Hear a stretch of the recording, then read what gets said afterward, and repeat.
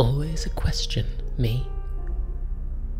Always a question, and never an answer. A glimpse, a sip, a slip, a wink, and a wriggle. Always. Still, as Mamma always says, the only things worth asking for are those things for which it is far too much to ask. Don't you find? I said, don't you find?